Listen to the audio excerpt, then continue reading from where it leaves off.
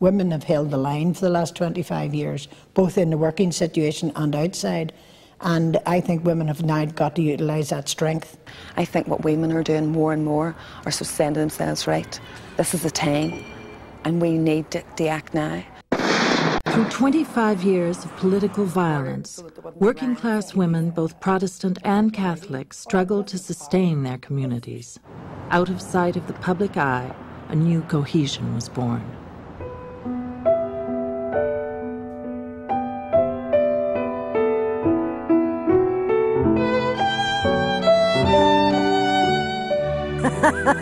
May Blood is a Protestant, Geraldine O'Regan a Catholic. Their childhoods were similar, growing up in West Belfast, the industrial centre of this Victorian boomtown. Their large families of seven children lived in the clusters of red brick houses built by the mill owners for both Protestant and Catholic workers. Geraldine's father found work as a laborer. Other Catholics found work on the docks. As a Protestant, May's father could work in the shipyards that once launched the Titanic. Their mothers and aunts, Catholic and Protestant, worked together in the shirt factories and linen mills, the women's salaries needed to raise the children. They lived in the shadows of the smokestacks and woke to the factory whistles. Geraldine grew up on Conway Street. This is my Belfast. This is where I grew up. In small houses, little streets with the big factories. It was lively, it was always noisy. There was women standing looking after their children in the street and there was so much freedom.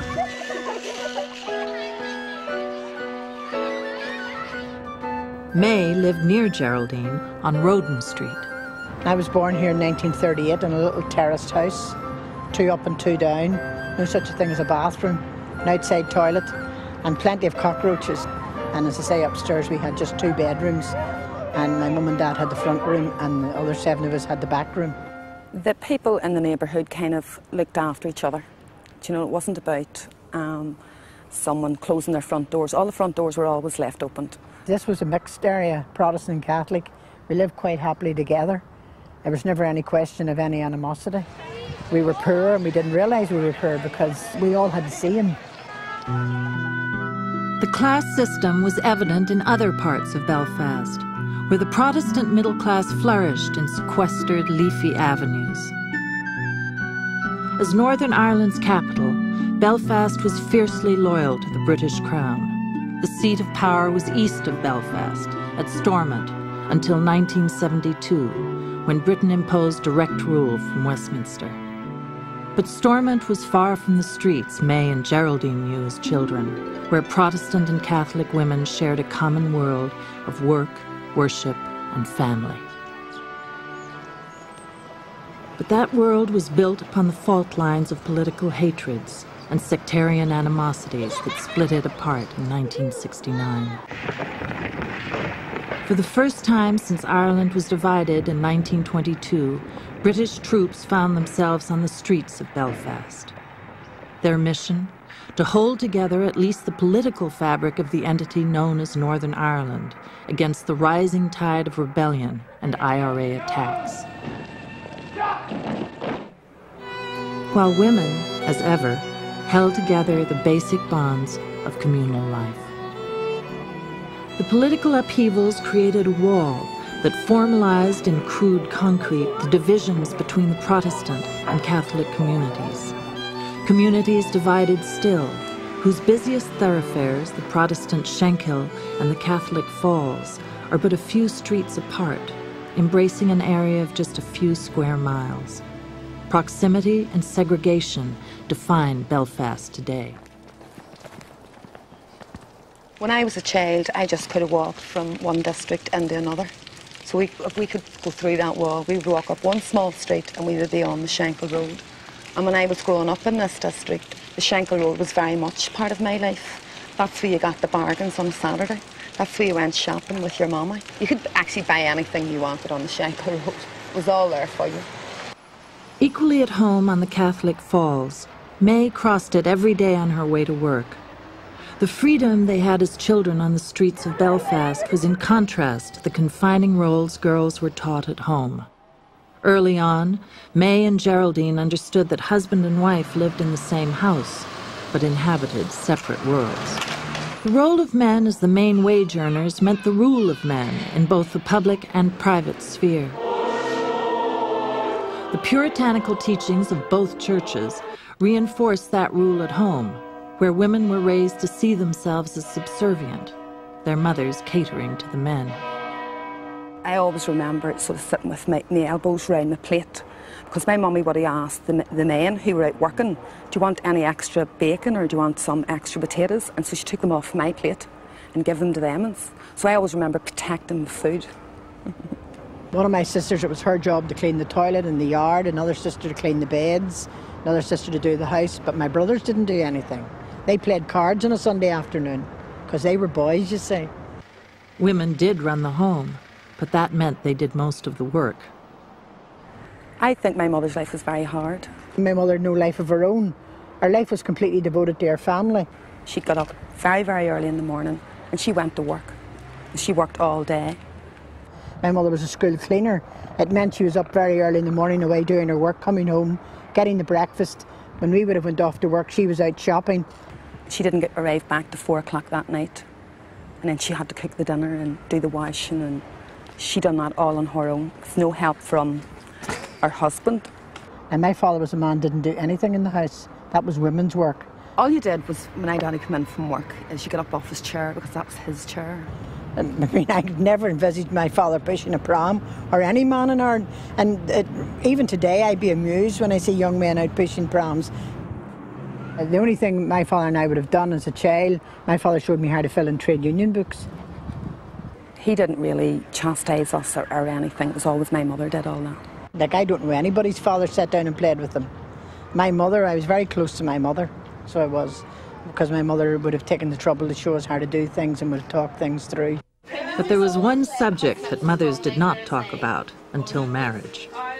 Catholic mothers don't tell their children about sex, ever. It used to be the done thing that your mother and father went to bed on a Sunday afternoon, and my job was to set the table for Sunday tea. All the dishes had to be polished, all the knives and forks had to be polished, because when my mother came down out of bed, she was generally in bad form, so everything had to be perfect. I certainly talked to my children about sex from a very early age. We got very limited sex education in school. What I learned about sex, I learned on the factory floor. I don't mean literally on the floor, I mean working in the factory. I learned it. Geraldine and May left school at 15. Like their mothers and aunts before them, they entered the local textile mills.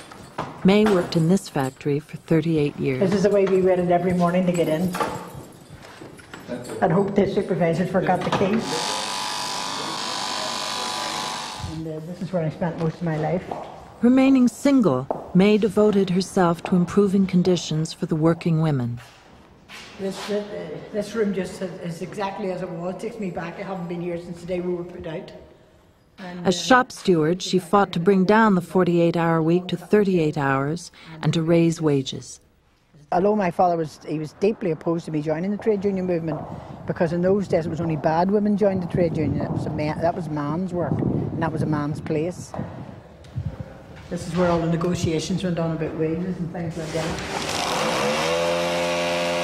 As part of the Industrial Revolution, Belfast mills flourished, employing thousands of women. Known as Linenopolis, Belfast pioneered the industrial process of turning flax into linen. Women tended the fibers as they were spun into yarn. It was often harsh, unhealthy work. The wet spinners worked barefoot to save their shoes, their feet and hands always in water. For hours they stood at the frames, tying up broken ends. Today, only a few mills and factories survive. Most were put out of business in the 1970s, not by IRA bombings, but by Far Eastern synthetics. The hard work was balanced by a rich social life in a room full of women. And it wasn't just a factory sitting there, a mindless, sort of uh, repetitive job. It was, but there was all that great atmosphere around you. It was just like one big family. You knew everybody. Everybody knew you. And a crowd of us, both Catholic and Protestant, from both sides of the road that I walked up, we would have all met on the, what we called the Hospital Hill. And we all walked up together in the morning, half seven, 20 to eight. And you were cracking on about what happened the night before, or Who, who left you home. What the boss was going to do that day, or what the work was going to be. And, It's always talking on. and then we walked down together at night. And I never come up the, the, the Royal Hill, and I don't think about that.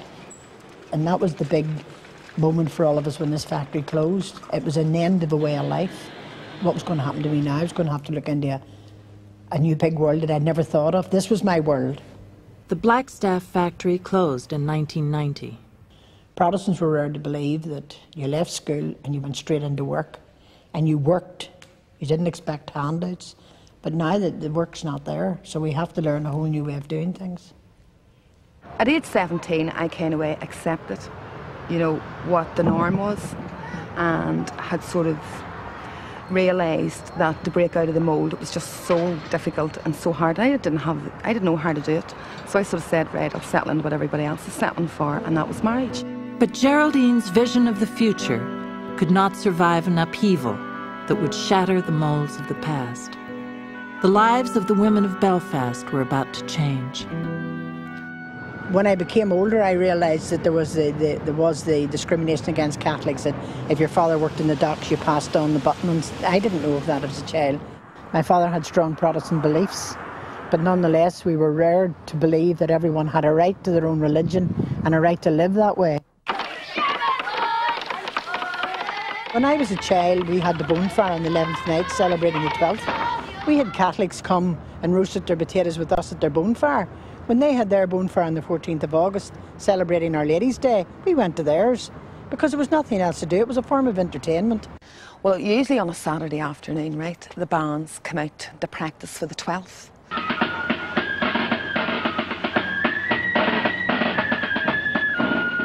12th was their big celebration about how the Battle of the Boyne and how they sort of got the Catholics on their knees and made them surrender. But they always made a point of coming down Conway Street, right down to that corner, you know, where I lived. So we were the closest to it. And the closer they got to us, the louder their drums beat. And I remember, you know, my mommy always used to say, come you in from the door, but I used to stand with my hands like this and sort of face them, like, you know. But then when I sort of got a bit older, sort of in the teenage years, kind of, I sort of enjoyed this music, you know, sort of got your blood up, you know, I loved it. So there was a couple of fellas in the band, you know, sort of that I fancied, like. So I would have followed the bands up all round the wee streets and I would have sung all their songs as well. Uh, the one song that always stands out in my memories is Sash. Now I can remember how it started. Me father wore it long ago in the grand old days of yore. And it's on the twelfth I love to wear the sash me father wore.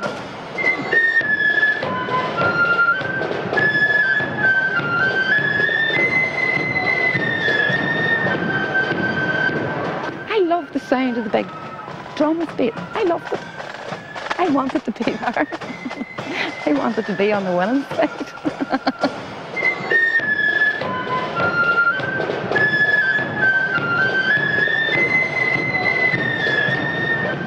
Marching to the drumbeat of the civil rights movement in 1968, Catholic students were inspired by the civil rights marches in America.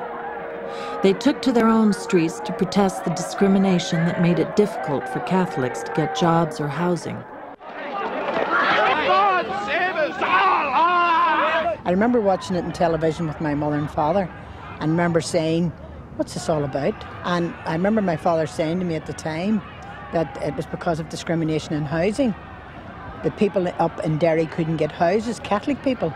But we were Protestants sitting in a, a rundown area and we couldn't get a house. I had asthma at that uh, as a child, and our house, when it rained, it rained in the back door and out the front door. I was out having a great time. And I just sort of really was on the outskirts of things. I really wasn't that concerned about what was happening. And um, I always remember thinking to myself afterwards, you know, why didn't we see some kind of warning signs or were we not looking out for the warning signs? Because there were warning signs.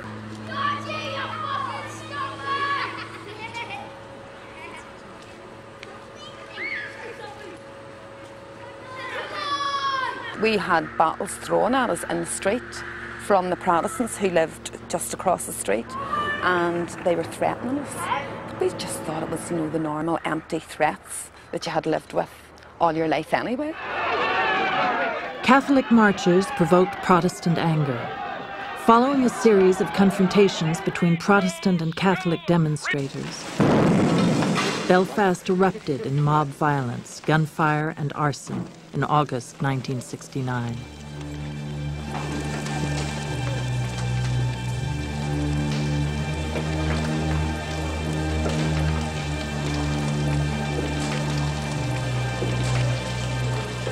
On the 14th of August, they burnt out something like 300 houses. So all our friends, all our neighbours, all my relatives were sort of scattered to the wind. All of a sudden, the whole area was an uproar. People were moving out, and we were having Catholic neighbours disappear overnight. Nobody knew where they went. The Protestants who lived round about us. So it wasn't strangers that burnt us out. It wasn't strangers that came into this area and decided, oh, I don't like you living there anymore. It was people that we grew up with, who knew us, who burnt us out. Were, were, all these houses occupied yesterday? They were all occupied, yes. Yesterday, all by Roman Catholics.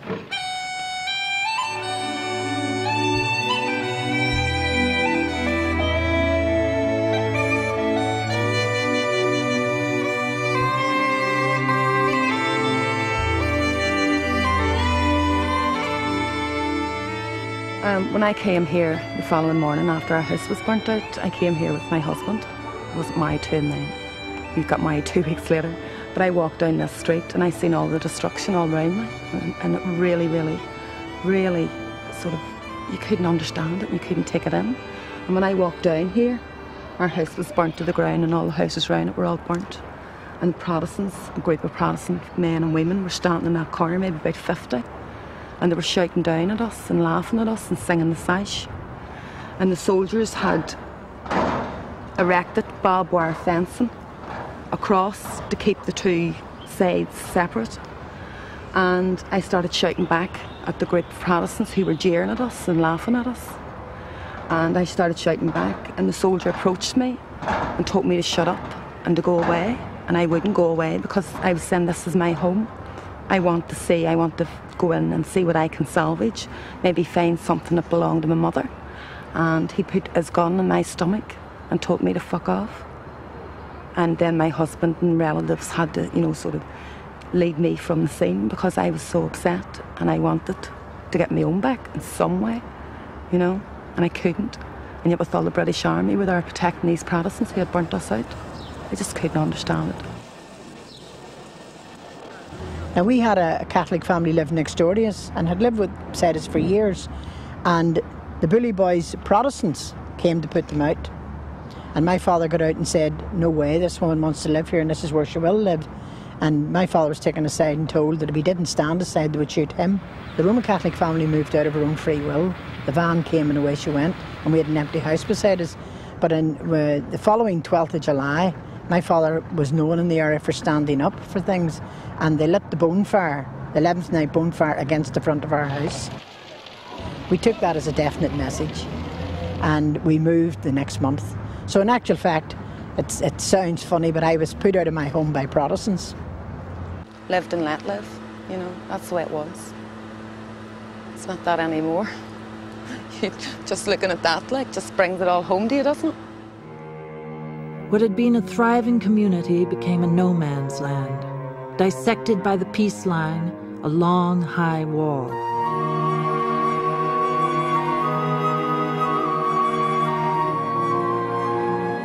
A way of life reduced to ashes.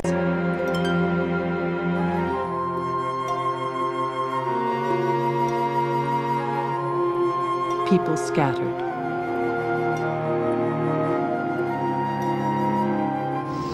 Army trucks rumbled over roads, once filled with the chatter of mill girls on their way to work. Like many families, May and Geraldine retreated to the foot of the Black Mountain, where fear of each other drove people into separate housing estates for Catholics and Protestants. May moved to Springmartin. She liked the better housing but missed the communal spirit of Roden Street. Her relief from the troubles was brief. Soon violence disrupted public services and murder gangs prowled the roads after dark. The dumping was horrendous. We had rats running about this estate as big as cats. Nobody cared. Nobody cared what happened to Springmartin. Because we were so near the peace line, people were off the impression that the authorities were just wishing we would get up and leave it and they could flatten it and turn it back into a green field. Our local residents got together and decided we would have to do something for ourselves. No one else was going to do it. Well, I, I learned first of all that when you sit in your own home with the door closed, you just imagine that nobody really cares. But when you get a, a group of really committed people together, the story's entirely different. Catholic women turn to each other as well. Geraldine and her friends Moira Friars and Eilish Rooney were young mothers in Dermott Hill when their husbands were interned without trial in 1971. Suspected of IRA involvement, hundreds of men were dragged away to Long Kesh internment camp. Don't be cracked. Up to the edge.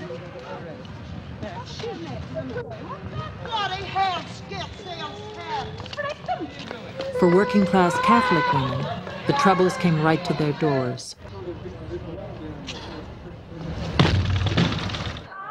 They watched as their homes were violated during repeated searches. The British Army came in here one day to raid the house. There was about six, you know, sort of armoured cars, vehicles out, out in the street, and about 20 soldiers in this house. And they turned the house upside down. They lifted the floorboards, the carpet, the beds, I mean everything. A quarter to seven, uh, the Brits came to the door and started raiding the house, but they were eager to get back to the barracks to watch Top of the Pops, so they only run in and out of the house. And the, the phoned through to say that um, they couldn't see anything in the house, so they were on their way out. But the message on the other side was to say, Why have you lifted every floorboard in the house? Which they did. You weren't told that your husband was arrested or anything, they just come and raid the house. And I always think I, how stupid I was at the time, because I thought Frank would be home that night. I didn't realise then that I wouldn't see him for a year and a half. There I was, sort of just very young. I had a baby and was pregnant with another child, so this was a whole big turning point in my life. Tommy had a great job, good wages. Um, we didn't want for anything. Um, when he was interned, I was living on £16 a week. I had four children, a mortgage, all the rest of the bills it meant that you had to make yourself do things that you never would probably have considered that you would have had to have done. The, the fuses, I went upstairs to put the children to bed and the, the lights wouldn't work up the stairs. So I realised then, you know, like I'd have to get some help. I'd ask, have to ask a man. So I actually mentioned it to about five different men, and each man says, "Oh, no problem. It's dead, dead easy. You only need a wee bit of fuse wire. I go up and fix it for you. You know, when I get the chance." So this lasted for six months, and all of a sudden I says to myself, it couldn't be that difficult to fix a fuse. So I did it myself. and, you know, sort of those type of things, you know, you started to realise, why are you sitting here waiting on a man for six months to come along and help you out? You know, you're going to have to start doing these things yourself. On the minibus rides to Long Kesh, Catholic women forged a common purpose as they fought to sustain some kind of normal life. Internment was a turning point in the lives of these women. With their men imprisoned, they were forced to stand on their own. Their streets became the front line in the struggle to protect their communities. Just the ladies up there area were sitting yesterday having a cup of tea and they all decided that let's do something. The men can do nothing with the Special Powers Act. They're hemmed in, they can say nothing. It's up to the women now. They confronted British soldiers. They organised to protect their children. I used to stand with the young men who were being questioned by the, the British Army. They were put against the wall, they were searched, and basically they were harassed. And I used to stand with them to make sure that either, if the British Army took them away in a jeep, that I went and told their mothers or their fathers where they were. I found other women doing this, the same thing. So what we decided to do, a group of women got together and said, like, this isn't, you know, good enough. What other, you know, sort of types of facilities can, can we offer these young people to keep them out, you know, of harm's way? In 1974, Geraldine, Moira, and Eilish helped to turn a cold, windowless garage into a thriving community centre called New Hill. It was the fact that they couldn't leave their own areas. This, this was where you lived and this is where you stayed. It, it was dangerous to go out after a certain time at night. If you had a teenager, you were afraid to let them go into another area. They stopped going to the pictures in the town, stopped going to the dances in the town. I think a lot of the times the, they found life very, very boring. So we had discos twice a week and the place was bunged. We had some nights we would had 150, 200 kids in a big hall. You know, and what we, I can remember, you know, sort of, you know, we didn't allow them to bring drink in. And what we did was we searched them. We searched the men and the girls for drink. And these big six foot, 16 year old men were holding their hands up like this and letting you search their bodies. They allowed us to do that. A man couldn't have stood at that door and said, I'm going to search you and I'm going to smell your breath. They were so glad to have something to do. Every young person in this area has, has only witnessed to the age of 25 nothing but troubles from the day they were born. It has shown them how terrible war can be. It has shown them what a broken home's like.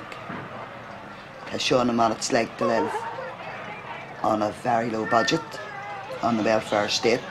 But I would say that the young people I know, they're happy to start afresh and to say it has happened, we've come through it, we're alive. Now let's go forward and do the best we can. That hope for a normal life for the women and their families finally seemed possible in 1994, when the paramilitaries ended their campaigns of terror. For the first time in 25 years, the soldiers were taken off the streets of Belfast. The tight ring of security that girdles Belfast loosened in 1994, following the IRA ceasefire. For 17 months, the city breathed a sigh of relief as the memories of the dark years of checkpoints and searches receded. The gates between the Shankill and the Falls were opened.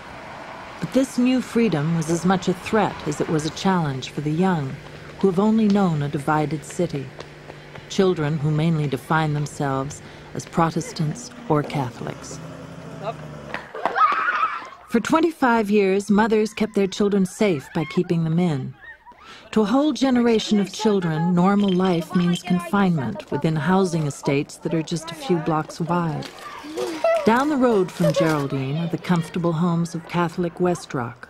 But good housing cannot disguise the effects of the Troubles relentless unemployment, poverty, and the crime that follows in its wake. It's the women in these areas who still hold their communities together, providing whatever options they can. Eilish McCashin's kitchen functions as a gathering place for the neighborhood's children. Their choice of playgrounds, a vacant lot, or the city cemetery.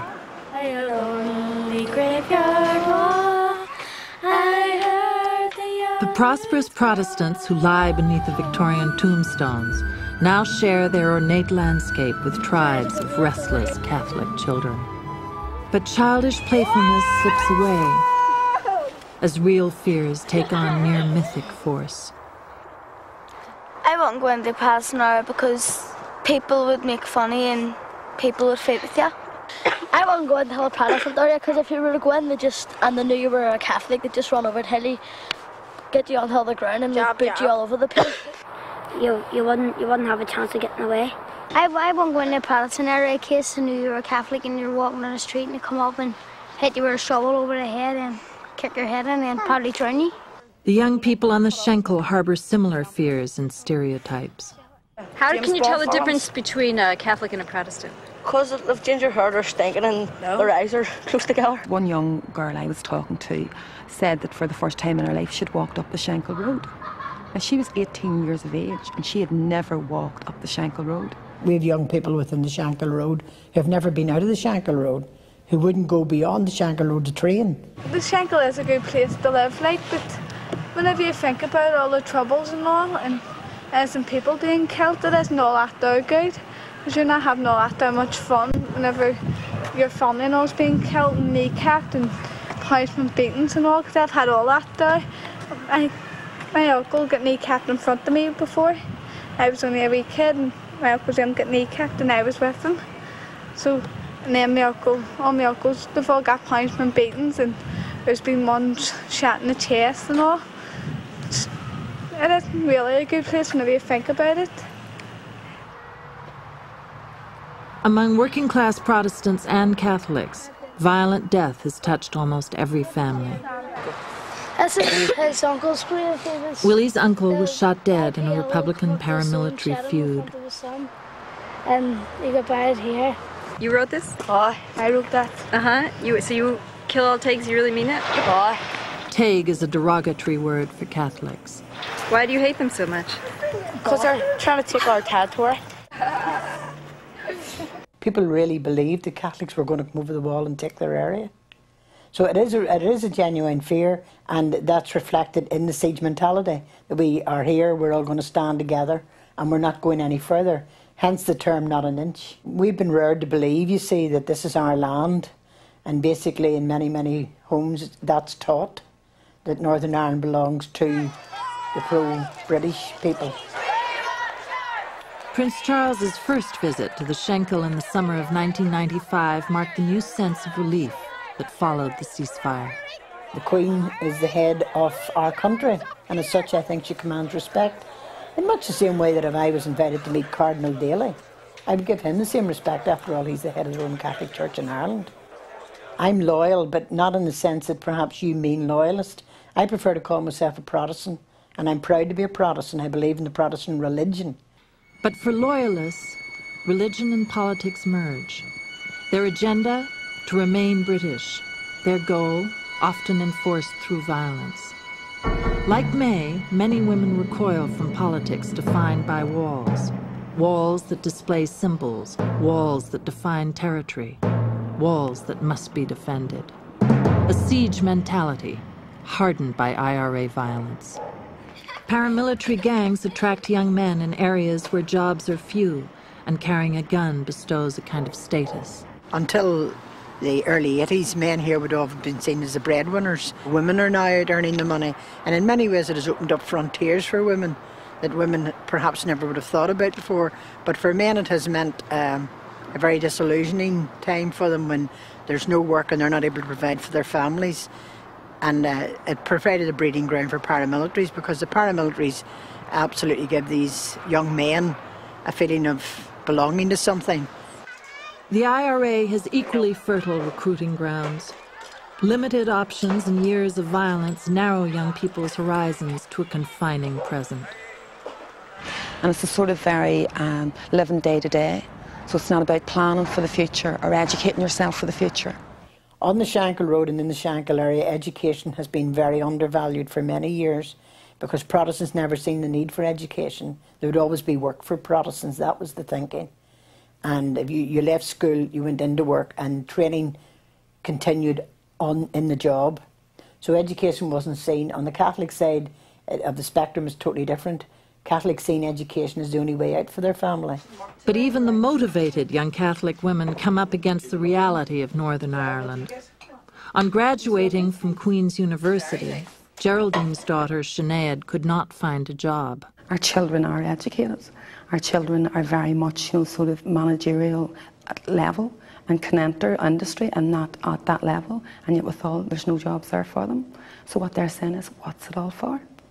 Without jobs, children lose ambition. In both Protestant and Catholic working class areas, unemployment for 18 to 25 year olds is 30%, but can reach 80% in areas like West Rock. For the young, the problem goes far beyond economics. You go into a work situation, you have the esteem of working, you have your own money in your pocket, you meet friends outside your own area, you have another life, if you understand me, and you can come back home at night quite happy. There's the whole um, respect of getting up and going into work and being of some value. It really, really makes me sad when I see generations today who have never had work. I think young people now, because of their dependency on state benefits, um, have had this sort of um, view of view of the outside world like you owe me something, you know, you owe me a living. I need this, and therefore it's up to you to provide it for me. So, I mean, there's a lot of work needs done on that, and um, that, that, to break that cycle of dependency, if you like.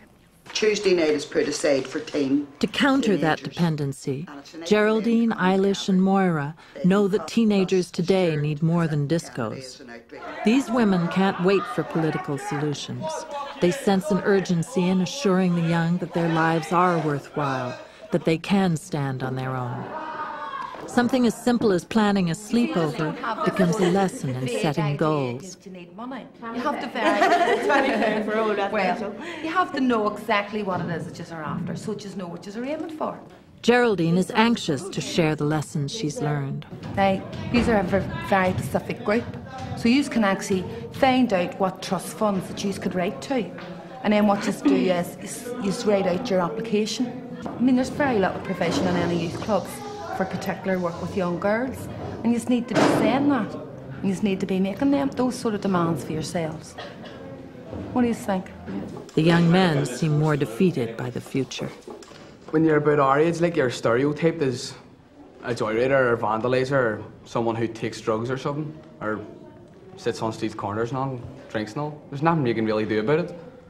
That passivity alternates with bouts of hostility. In the summer of 1995, riots broke out in West Belfast over the release of a British soldier convicted of shooting dead a teenage Catholic girl. Geraldine knows how easily her efforts can be undermined when the young men respond to what is familiar. Belfast teens are also susceptible to more common forms of escapism. The younger teens follow the trails of older youths collecting leftovers from a night's drinking and glue sniffing. They get glue and pour it in their bag and start sniffing. And they drink AIDS and just their leather all around this.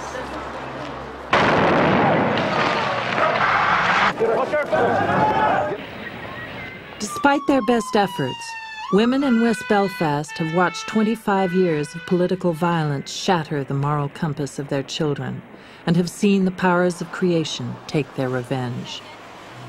Sexual taboos were lifted as hopes for the future fell. With the normal signpost to adulthood missing, the children of the Troubles find other ways to achieve status. Teenage boys often father children indiscriminately. Teenage mothers welcome the attention a baby can bring. Brenda had Ryan at 17. I don't know, I just wanted to have a baby. Because everybody had one. don't want to get married. Too young. For young women, motherhood seems like a passport to adulthood and independence. The state provides housing and a welfare check, but their independence becomes an illusion as they grow increasingly dependent on the welfare state. The irony of this is not lost on women like Geraldine. The Troubles transformed the roles of women, providing them with new opportunities. She was able to have a family and a life of her own. Now women Geraldine's age confront an unforeseen generation gap.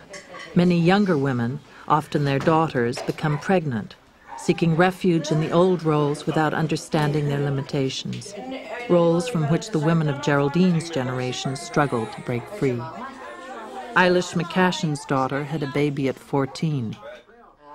I thought I educated her. I thought I, thought I was doing what was expected of me. I was sending her to the peer education classes, um, buying her books, talking to her, um, keeping an eye on her as I thought.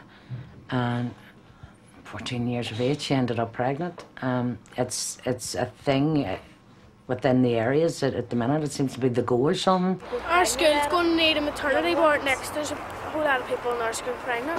She's five months pregnant now and she's uh, only just turned 17. She's 12 and she had a baby. What? 12? Teen pregnancy is also on the minds of the young Protestant women who meet at the Shankill Women's Centre. Peer pressure or having sex. Yeah. People are going, oh, I'm such a big mature person because I've had sex, and they think, oh, well, let's go just do it. And then I can go boast about it to people. Yes, the boys should do you have a part in it. I know what the part is. Yes, the boys are the part ones can't go back. The in and out, boys it's are, are just- funnier than the bigots.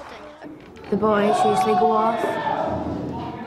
I know a wee lad that got a girl pregnant and he's got several girls pregnant and he's just went he's just went off now he's 17 so he is and he doesn't see he doesn't see that there's a problem that it's just a kid. It, he, he won't realise that it's his, and he's going away, and he's, I don't know, I just don't understand how he can do something like that. We devised um, the, the blueprint for what we called a Young People's Health Project, and we specifically wanted to um, address the health needs of young people by using a peer education system, which meant that it was young people trained to give other young people information. So it wasn't somebody talking down to them and dictating to them, you will not have sex or you will have a baby. It was somebody realistic talking to them and sharing information, giving them information, and really at the end of the day, giving them a choice in their life. We would talk about to each other like it would be terrible if any one of us either ever fell pregnant, what we would do and what we would say to our parents and would all of us support each other and stuff like that. I don't want to be married or have kids. Maybe when I was about 30 or something, settle down because you want to go out and enjoy yourself first. You should really wait and you should be in a relationship with somebody that you really love and you know you're going to get support from them and something stable because it's difficult when the baby's born and all the problems that you go through and getting used to having another person in your life. Um, I think they should wait a lot longer. Go. Go. Tracy Docherty knows how difficult Push. caring for a child can be. Push. Push, a single mother at 19, she moved into an empty house in a strange neighborhood with a new baby and no family support. The first night she slept on the floor. Well, did you have a good day? There was days we didn't get up at all. We just stayed in bed, and the two of us just stayed in bed. And I would have came down and got something to eat and just went back to bed, and that was it. We just didn't get up out of bed. I didn't go out for weeks, as I said. I didn't go out for weeks. Never talked to anybody, didn't know anybody to talk to anybody. The alienation Tracy felt as a single mother changed when she walked into the Windsor Women's Centre. A new trend in Northern Ireland is to help women break out of their dependency and isolation through women's centres located in their neighbourhoods. Tracy found friendship and support. She also discovered learning. Having dropped out of school at 16, she was stunned that for the first time in her life, she excelled. Ah. I like everything about learning. I like, you know, hearing new things or seeing things in a different way than I've saw before. Tracy now teaches a computer class at the centre and attends the University of Ulster. I think women always had a concept of self, but they were always sort of doing things more for them, their kids or their husband or their family or their mummy or somebody apart from them. That's my mother that's laughing She's 79 and she's going, What do you want to go there for? Sure, you have to rear your kids. I go, Oh, mom, mom, what about me? What about what I want? Mm -hmm. I says, I mean, I left school because of you to earn some money to put into your pocket. I says, so it's about time I put it in my own. Now they're getting more like, I'm going to do this for me, even if it's something not even related to my family or whatever. I'm doing this for me and I'm not doing it for anybody else. Edna Padner lives near Tracy. Unlike Tracy, she has a stable family network to help her raise her two daughters since her divorce. Despite that support, she fell into the same trap as Tracy. What age are you? Three. Oh, three. You, you do not want to talk baby talk. Your life surrounds this child, and after a time, you get you can only watch so much morning soaps, and you can only um, talk so much to this child. But you need more of a life, so your your confidence starts to drop. But my actual um, self-esteem, confidence, all came back via the women's centre. And then the big plus was the creche. They said they had a creche they minded your children while you went to work, and it was free. Edna now leads a group for young mothers at the centre, but that's not all. Now I'm going to be a flexi bus driver as well. I'm going to juggle that, going to juggle a family, going to juggle a social life. I'm also studying. I'm very full up. I don't have time for men in my life. it's not easy not having a partner, but sometimes I find it easier because I know I don't have anybody to answer to, and I never did, and that's good for me. This is probably what we want from the young mothers to give them that confidence, to give them that, that I don't need a man. A lot of them think I need a man. You don't need a man, you want a man. Some women are stuck in their circumstances and feel, oh, he says I can't go to the centre or he says I can't go out. And because of the guy, you know, they feel they have to do what he says. Because that is the traditional role of a man in Northern Ireland, is that he's the breadwinner, he has the last say, he has the first say, he goes out to work, he comes home, he gets his slippers on, he gets his dinner on the table at the time he walks in the door, or else there's hell to pay. I think men in this country are still blinkered and still looking and wanting their own thing and don't want women to go out and do things. Sometimes I think he's lacking in the confidence because he's got to bring her down so small that he looks so big. And the women are now going out and doing things for themselves, but the men don't want to do anything for themselves, and that's a pity because the women are changing so much and the men are so far behind, and it's a pity the men just can't come and do the same sort of thing.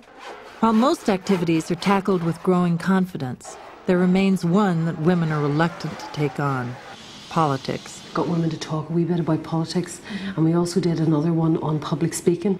Joanne Vance leads seminars for women on politics. A lot of uh, women, when you speak to them, will say that they're not interested in politics. And what they really mean is that they're not interested in a politics that is um, often sectarian, um, very male dominated, and uh, just far too narrow to address their issues. These frustrations inspired a group of women from both Protestant and Catholic communities to form the Northern Ireland Women's Coalition. Have you ever in Northern Ireland seen a group of all shades of political colour sitting in one place at one time, all ready to talk to each other. In May Blood, the coalition found a formidable campaign manager ready to take on the most outraged male. Women are 52% of the population in Northern Ireland. We have a right to be at the talks table. It's our futures being talked about, and it shouldn't be talked about solely by oh, men. Oh, no, I agree wholeheartedly. The coalition took a bold line on including the IRA's political wing, Sinn Féin, at the peace talks. We believe there should all violence should be taken out of society, but we do not believe decommissioning should be a precondition to the talks. The Northern Ireland Women's Coalition gained two seats at the multi-party peace talks. Ireland's President Mary Robinson is heartened by this kindling of interest in politics. They need to make no apologies for the fact that they speak for the reality of the groups and the communities that they work with and that they have worked with in difficult times. And now they need to have the opportunity to gather that together and move forward and redefine politics, open it up. Um, crack it open, if you like, in a very healthy way. Other women are beginning to challenge the male domination of the established political parties. The Women's Commission of this party actually, uh, we're educating ourselves in media skills, we're educating ourselves in a number of things, in social issues. We shadow every cabinet minister from the British cabinet to the, the, the Southern cabinet.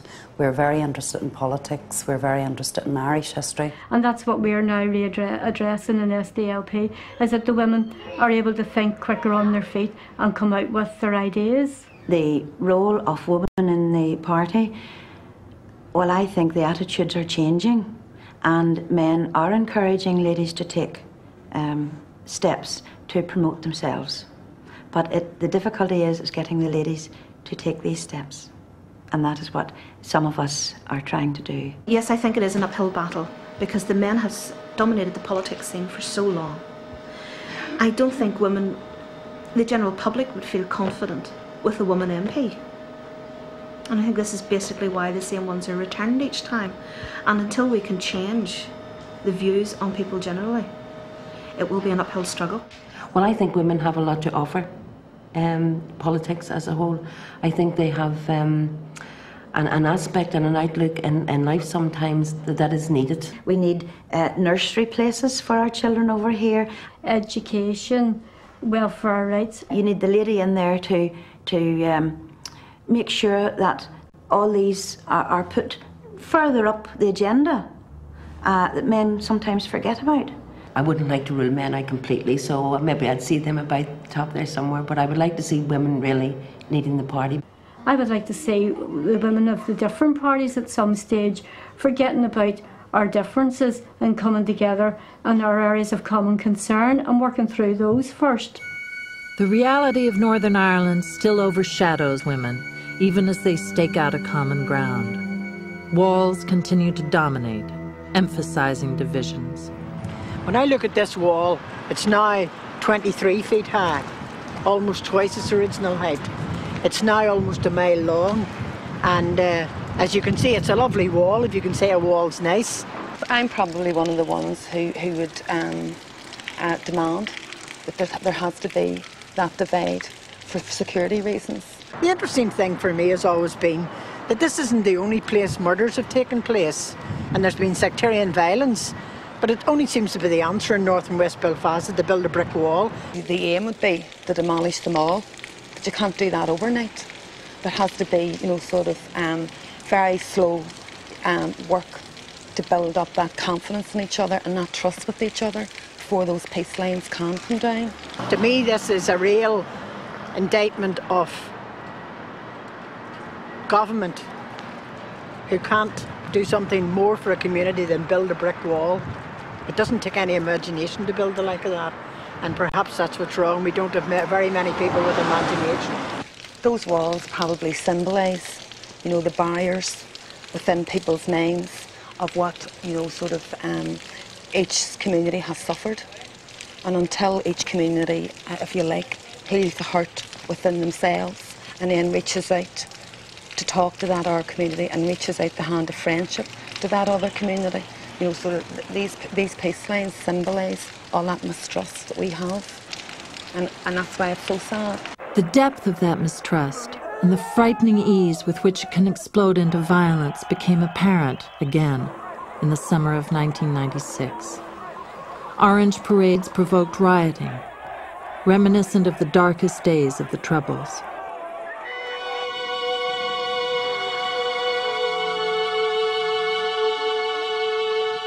Yet among the ruins left by this conflict, the need for a common normality has taken root, nourished by the simple ambitions of the young. When I think about the future, I'd like to have a good old job, and a girl, my own house,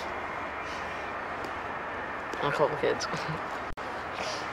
I want a three bedroom house with a secure income and two kids. But I really like archaeology, but I don't think that'll ever happen. So, yeah. I want to be a vet because I love animals and I like working with them. Go on to university and then hopefully own my own business one day. But I don't think I'll settle down. No, with a husband, no. Out partying every night. Everyone like just being friends and no more fighting, shooting or bombs or anything. Whatever the future holds for Northern Ireland and its children, one thing is certain. The Daughters of the Troubles will play an increasingly important role in shaping it.